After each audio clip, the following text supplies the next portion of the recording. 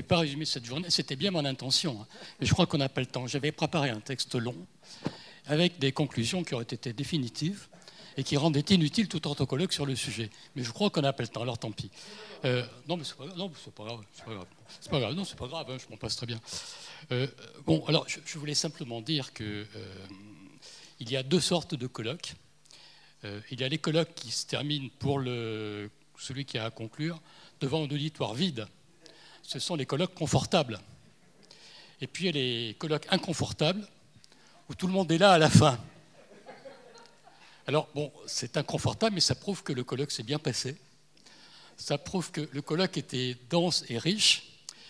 Et euh, d'abord, ça correspond, c'est très satisfaisant pour nous, parce que ça correspond bien à ce qu'était la, la, vocation de ce comité des droits linguistiques du Pen Club, qui est de faire la promotion et de défendre la promotion linguistique et culturelle par tous les moyens. Et là, je crois qu'on a, on a, apporté la démonstration jusqu'à la fin avec ces merveilleuses lectures en italien qui nous donnent, qui nous donnent la force pour défendre la diversité des langues partout dans le monde. Je crois que c'est vraiment, et c'est vrai que l'italien est particulièrement bien placé pour cette défense-là.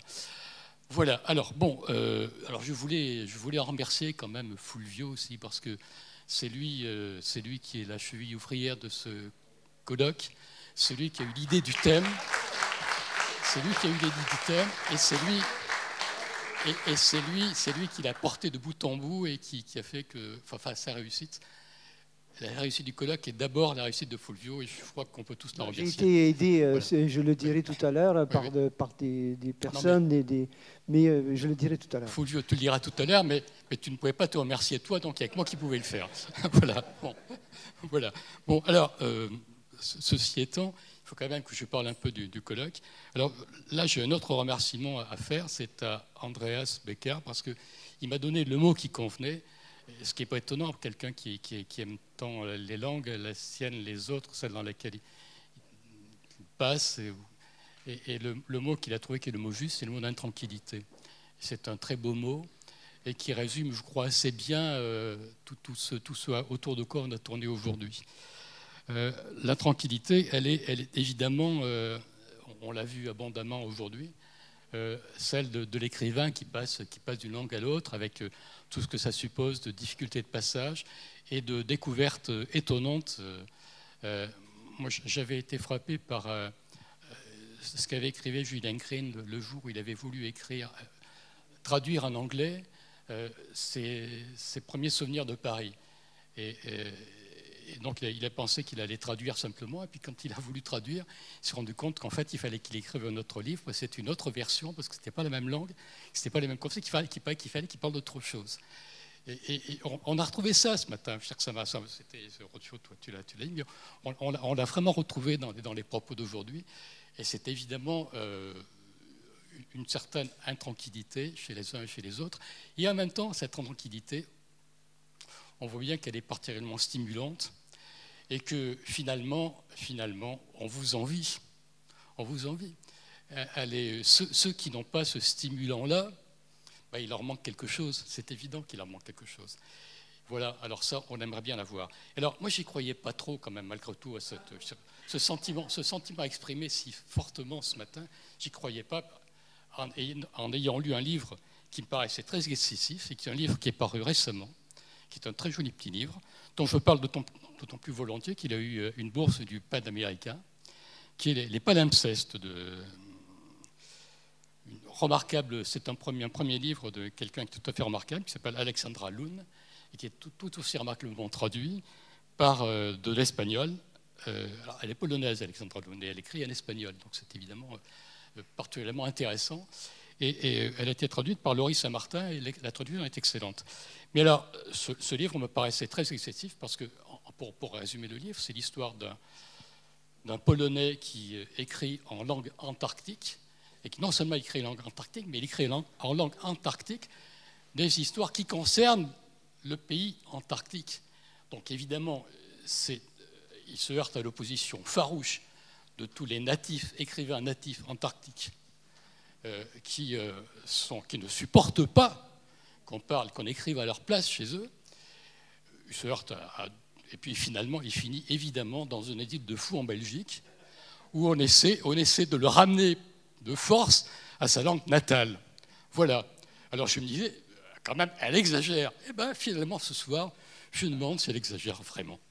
Voilà. Bon. Alors voilà. Alors, voilà. Alors ça, c'était, euh, je crois, euh, c'était une première leçon que j'ai tirée de, cette, journée. Cette tranquillité me poursuit maintenant parce que je vais lire Alexandra Lund avec notre regard. Alors, euh, ce que disait Julien Crane aussi, et qui, qui est une deuxième source d'intranquillité, mais je crois auquel tous nous sommes sensibles, parce qu'on on a vu, en particulier cet après-midi dans le débat sur la traduction, mais aussi ce matin dans, la deuxième table ronde, euh, Julien Crane, il dit J'écris en anglais, je voulais écrire en français d'abord. Mais puis je me suis rendu compte que si j'écrivais pas en anglais, vous ne serez pas lu aux États-Unis. Euh, non, c'était dans les années 40, ça. Hein. Euh, eh ben, c'est quand même une question autour de laquelle on a tourné. Quoi. Hein. C'est comment écrit-on Et ça, ça nous concerne tous. Comment écrit-on euh, Pour quel marché Est-ce que le marché nous domine Est-ce qu'on arrive à dominer le marché Et comment Et quelle est la marge sur laquelle nous nous situons pour dominer ce marché Et je crois que, et, là-dessus, bah, peut-être que les, voilà, ces écrivains du passage d'une langue à l'autre, ils ont peut-être une force particulière pour, euh, pour être euh, voilà, un, peu de côté et, avoir la force que tout le monde n'a pas de résister, de résister au marché. C'est la deuxième chose que je retiens de cette journée. Je crois que c'est une chose auquel voilà, bah, on y est tous attentifs, je crois, les uns et les autres. Et c'est aussi, je crois, euh, bon, bah, ça encourage le comité de droit linguistique aussi, parce que c'est notre combat permanent, comme c'est le combat du Pen Club. Donc je crois, voilà, c'est bon pour nous qu'on l'ait dit aujourd'hui aussi. Euh, et bon, bah, Troisième, troisième point, troisième point quand même, c'est, euh, mais on l'a, bon, on a tourné autour quand même. On voit bien quand même que euh, le monde dans lequel on vit est un monde en changement, un monde, un monde, on, l'a dit quoi, un monde, un monde de citoyens du monde, plus qu'un monde d'écrivains monde, plus que plus que d'un monde d'écrivains de, de nation, de nationalité.